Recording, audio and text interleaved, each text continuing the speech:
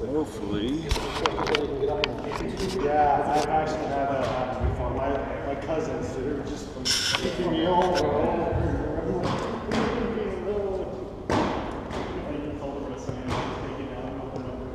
All right, guys. Time the class, hopefully to help you guys out. Um, this one's going to be, uh, we're going to touch up on some. Yeah, someone's at the door. Touch up on your stance, uh, footwork, and body mechanics, how to use your hips, get more power out of your strikes and stuff like that. So uh, the first thing I'm going to go through is um, for holding a flat blade. For what I've learned before, you guys all use flat blades, so I don't know if it matters. You guys strike with edges. It has to be. It has to be an edge to get a point. Okay, perfect. All right, so when a lot of people pick up a flat sword, they, they typically just want to pick it up this way. I always tell people you want to tilt it a little bit to the side because when you do strike, you're not always flat this way. Oh, I'm back up so the camera can see me. All right, you're, when you're striking, say you're striking for hips, you don't always strike exactly flat because it feels weird on, you're always gonna strike kind of like this. So if you want it, you want a nice, so if I'm completely straight, for me to get a nice flat, I have to be completely flat. But if I already tilt it a little bit, then I can get a flat one without going exactly like this. I have a little bit of a tilt. It's, it's more natural when I swing. Okay? So having this little bit of a tilt to your to your holding strike, I don't know if you guys have learned this before, will give you that edge. And same thing when you go over this way. If you wanted it completely flat, then you're, you're kind of putting your hand down. So another reason why I know I feel like this type of handle is good is if you guys ever do a wrap shot, be able to get around inside, just flat wraps. This motion here, it stops, and then there's your, your, your edge. All right, so if you ever need to get behind someone, and you're, you got a big strike, and you're doing a wrap around the block or something, you want that edge to hit, you're just spinning your forearm, and you can get that edge to hit. If you guys have more questions on how to throw a wrap shot, I'll teach you that. No problem. But uh, that's just how I want to show to hold your sword, not exactly angle like that. So next is your stance. All right. A lot of martial arts will teach you your stance properly. Um, what I would say is how your your hips work. You don't get full power until you end up where your front foot points. All right. So if you if you're like this, you guys can all try it right now. If you're like this and you rotate your hip, your hip wants to stop here. All right. Try try putting your foot more angled. Yeah, no, your other one. Yeah. Now rotate your hip and kind of see. All right. Just kind of see where your hip wants to stop. Feel where your hip stops. Right. Now all of a sudden do the same thing. Now put your foot your forward and see how much further your hip can move. You guys feel that? That means you can get your motion of follow through, your power, if you if you keep your foot out a bit more. If you're doing this, you're stopping your motion right here. It's where my hip wants to stop. My hip wants to stop there. Right? That makes sense to everyone? So you, the biggest importance of your footwork when you- you're working and doing drills on your footwork is always to make sure that your footwork is proper. So you want to make sure this is where your opponent is. And your back foot, depending on how you like it, I always like it at a 45 degree angle, kind of just so you have that steadiness. You don't want it back here, unless you're doing some quick backup. But if you're moving, if you want some stability, make sure it's 45 degree angle. Same thing the other way, all right? So foot pointing at your opponent, and this one's 45. You can always do 90 if you're comfortable 90. I prefer 45, depending on how you like it. Okay? Um, now there's the different stances between sword foot, what I call sword foot forward, and sword foot back.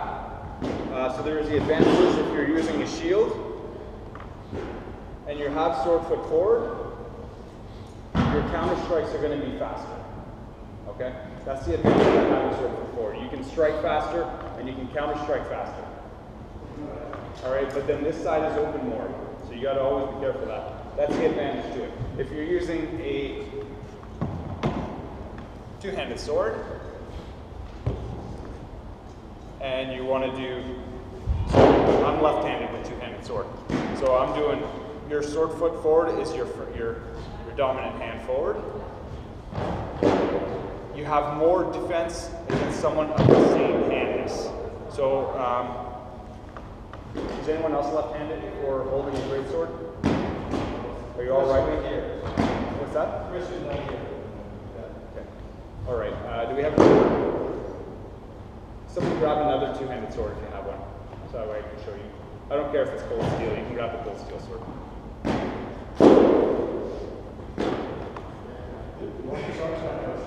So the advantage to I'm gonna go my bad hand, which is right-handed, in this stance. And are you? and- no, you're gonna go right-handed. Is that how this is how you prefer? Mm-hmm. Okay. So when you're right-handed, sword foot forward against another right-handed, you have more defense because you're you're in the lane of their defense, right? And then you can move and you can keep that defense. That's the advantage to being here. All right. If you're the opposite, no, no, you stay the. You have more offense. So it all depends on how you, you oh, sorry. No, no, that doesn't work. You don't typically want to go offhand forward when you're using two hand swords. This doesn't make sense to me. Anyone, does anyone see this very often? You do? With the German longsword or with the Fiore.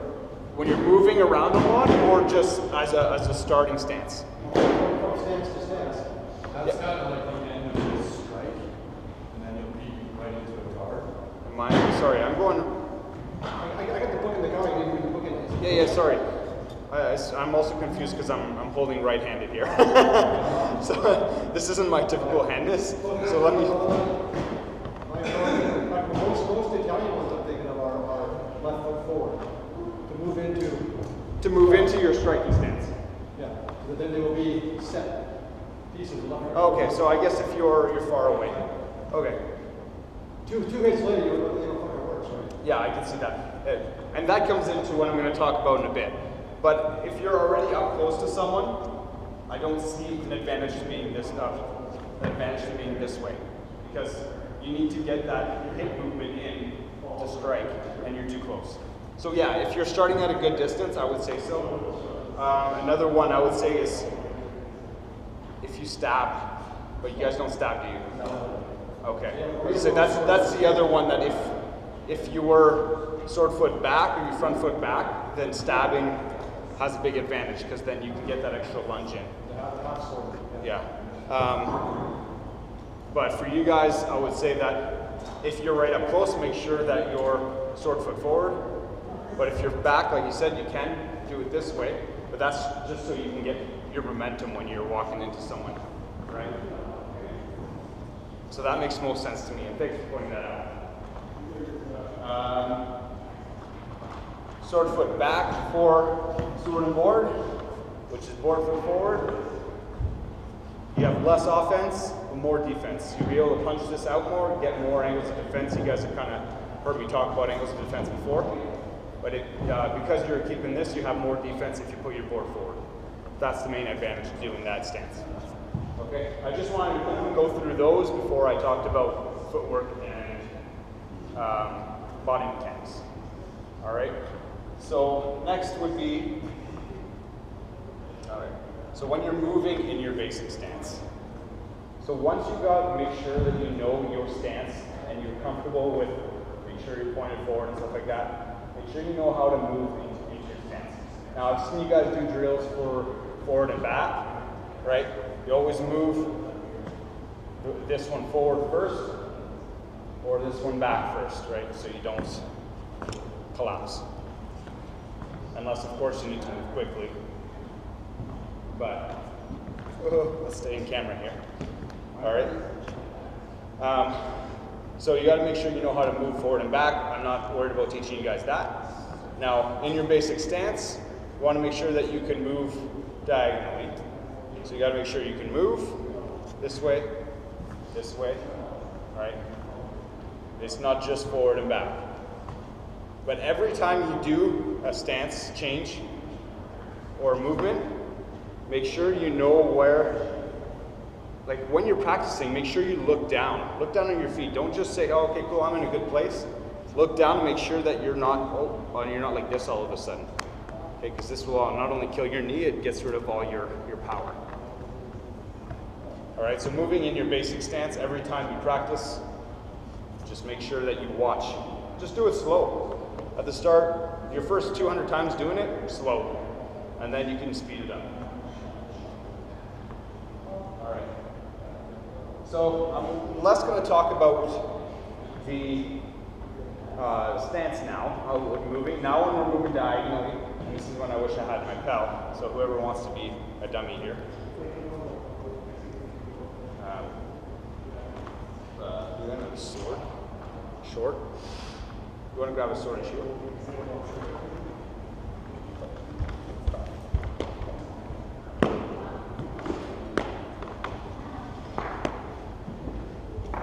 Yeah, I'll grab a shield.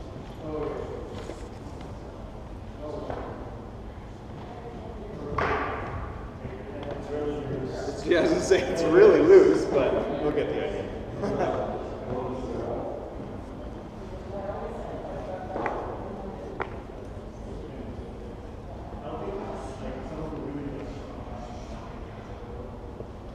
Whose shield is this? Colin's. Colin's. Did you make this or buy this?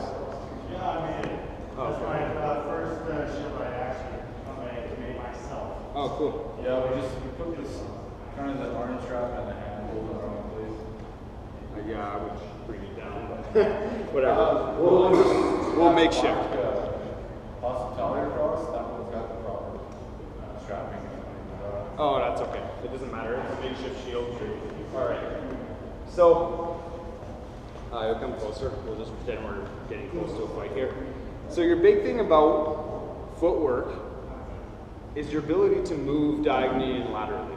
Now, there's a reason why old school fighting boxing, if you watch, as soon as some of the big fighters like Muhammad Ali started coming in, started moving around more, a lot of it was lateral movement, things like that, which was less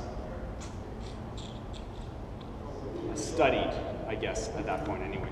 Um, so when you're moving, when you're fighting an opponent, your ability to move and keep your defense up opens up different angles of defense and attack. All right, so if he likes to attack right here, which you can do, okay, right? If I'm moving this way, he can keep hitting my hip. Right, does that make sense? Now, if he keeps striking like that and I'm moving this way, right, I'm just walking right now, but I'm not patient. I'm not even defending, and I'm getting rid of any angles that he can strike here. All right? If he wants to, if he likes to strike across my head this way, we, we think about that quick. Yeah, if he wants to strike that way, moving here, opens it up, moving here, he can still, yeah, you're striking there. Okay, I'll show you, I'll show you where you can hit. So if you want, if you're striking for head, not tilting this way, oh, typically down this way, right? But I'm gonna have my defense other way. You're gonna be trying to get in right here. Okay? Count my, no. Like this. Oh, right, because this is a chopped. You want to make sure that you can chop. You, yeah, basically, that's the quickest strike for you is your punch. Your, your chop down. So you, you're trying to chop my head. You're trying to get sword's at an angle, right? Inside the sword. Don't move. Just get inside the sword in my head. I'm like, hurt. All right. So if he's chopping this way, and I move this way, I'm leaving it open. If I move this way, all right, he's got a he's got an angle more all of a sudden. Okay, so I'm showing you that everything when you move laterally changes your dynamic of fighting completely.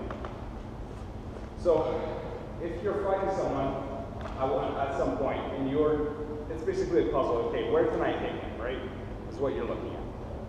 Where everything when you're just standing forward forward, I can hit him, I know where I can hit him. It doesn't matter. and he knows where he's going to be able to hit you. And all of a sudden, when you move laterally, you're changing the puzzle. Right? And because you know where you're going to move, you can predict what the puzzle is going to look like when you move. Anyone have questions on that statement? Do No? I have some confused eyes, so I just want to. No? No? Okay. Everyone kind of understands? Couples do that really well. Okay, perfect. Colin does that really well, Will does it really well. Me and Matt are kind of forward, reverse only. Okay. so to practice that, you got to think about your flow of your of your fighting. All right. So if you just come here, so we can be a bit on camera. You don't have to make sure that your stance is always nice when you're practicing getting around. Uh, if you want to keep your defense, you can do this. What I tend to do, and I tend to tell people, when you're practicing moving around laterally, just make it natural. I'll just sit here with my defense up, and I will just walk. All right, well, and another side, okay, I want to walk this way. Right, so then you can kind of see what the looking like. Right, and maybe he wants to move forward, but you're just kind of leading, leading the dance, just kind of, I'm moving. You're not, you're not, I'm not really worried too much about him hitting me, I'm just keeping my defense up. Control his range too. That's right. So just by walking around gets you the feel of improving your lateral movement, your diagonal movement of the of the fight. So if that's something you guys want to practice when you're fighting and you're just not too worried, okay, your strikes are getting good, you're not too worried about your strikes anymore. Just be okay, what, what can I do to open up? What can I do to improve? Just start walking around them and just see what happens, right? You got to make sure that your flow, your fighting, is always moving. You'll see when I'm fighting, even though it's not your guys' fighting, that I'll often be like, I'll start here and then I'll move here, right?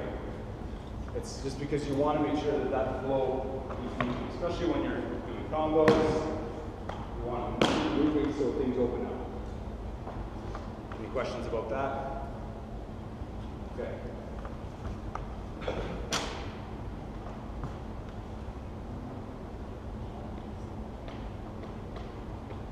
So I showed you guys how the lateral movement brings your defense up.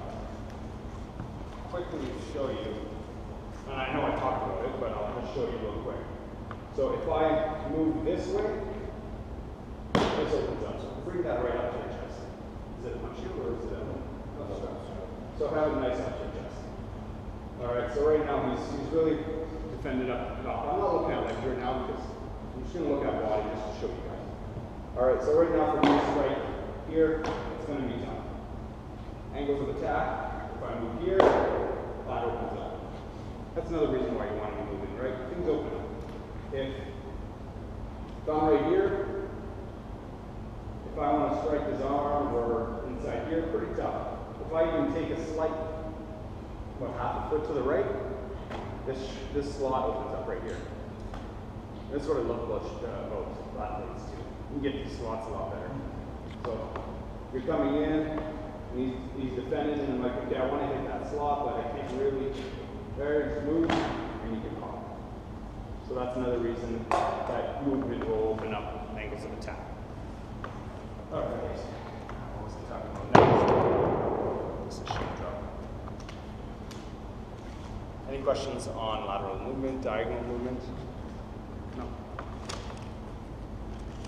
I'm getting out of them. All right, body mechanics. Ah. Number one thing about bo- body mechanics, guys, don't ever hyperextend your joints. When you attack, when you move, however you move, never lock your knees, never lock your elbows. Okay. There's, you know, everyone seems to understand that. um, all right. Now, to get more power out of your swings. All right, come closer. Get more on camera. Okay. So you want to make sure you use your hips. Now, of course, you guys all know you, you swing point where you want to you want to hit. Now, to get power, even here, I'm going to use my back hip, right? I don't have I don't even have to use my punch, my point. This power plus this power equals this power. All right. When you're swinging this side, you want to make sure you use your back hip. This is the toughest one that people have a hard time with. This is a natural movement for us usually, especially if you play baseball or, or sports. Using this hip to get power is, is pretty good. Most people will understand that, we will be able to practice it. You want to be able to get this hip is a bit different. So good practice, and I show this to almost everyone. Um, you guys have a pell. If you have a pell, if not, get one. Put that shield nice and straight. All right, you can strike. All right, so you, want to get those hips, you want to get that muscle memory from your hips. Strike, strike, strike, strike. Can just do that 50 times in front of a pell, uh, on a pell, and you can kind of loosen up your hips, and then it feels more natural. It's fast. Yeah. It is, because you're you're you're not stopping and then doing another strike. It's just you're following through hip, because you're cocking your hip for another strike all the time. And that's something that you guys can really take advantage of too, because I know you guys multi multi strikes are are a huge advantage for you guys. So even if you're looking at, at leg shots, you can pop. I won't do it too hard. Pop. Because when you're striking and you're going through, you're already cocking your back hip to do another strike. So make sure that, that your, your hips are always in. Um, that's the basics of using your, your hips to get power. It's the same thing even if you strike up here, all right? Same thing you strike for he- the head, you still want to get that hip in there. It still throws all, every time you punch, if anyone's taken any martial arts, they tell you the same thing for your punches. Um, now, how does that go into footwork? Well, this is when you really got to pay attention to your footwork. How I was telling you guys earlier to just walk around them and or walk this way. When you realize and feel how your hips are going, you can you can start walking and realize all of a sudden your hip cocks. All right. If you're doing your your your footwork properly, your hips gonna you walk over here. All of a sudden, my hip already cocked. All right. So I'm I'm putting in that footwork. That I'm going around different angle. If I want to get his his leg, if I'm a bit further, whatever. Um, and I need to power through. Maybe if he tries to block down or something. Um, and I'm just using my footwork. Well, my hip already just, it, it's ready now. It's already halfway there to get a strike. So it's the same thing if I, if I'm walking and then I turn around this way and I go this way, my hip cocked and it's ready for a strike. Very easy, especially once you start to learn how your hips work. The whole movement always goes into it. So I can, be moving around, around him, and then oh, okay, my, my hip cocks right here, and I can go for uh, an arm. Or, well, for you guys, I will go for head. to be honest, like all these shots, you should probably be going for heads, right? You want to strike here, the head, with that hip. They, like even if it, even if they get a bit of a glance, I'll like you'll get such a strong strike to the head because of your hip and your strike that it's just gonna, everything's gonna fly better. And it's, uh, yeah, I wa- I was gonna get into feints and stuff, but I'm not gonna do that today. I'm, I'm teaching a feints class after, so then you guys can kind of feint and then recock and then get here, or don't even cock on the first one, you, you pretend to throw, because when you come in. But I'm not gonna talk about that right now. Um, so yeah, putting in that movement, make sure you're always moving in the fight. That's going to get you your biggest advantage to improving your footwork. So the first thing is you want to make sure your footwork, your stances are good, that you, you know how to move, even if you change surf it forward, you know, uh, you know what stances you're going in. Once you can do that, make sure when you're fighting opponents that you can move around them and just keep the flow of your fight going. And then with your hips, when you're moving around, right? And then here, all sudden I gotta get it. So I just did a quick change of position here. My hip was already ready for it. You see how that kind of everything flows into each other? Any questions on that, guys? That's all had for you guys. I went quicker than I thought. Right on. Thank you. I don't know how much.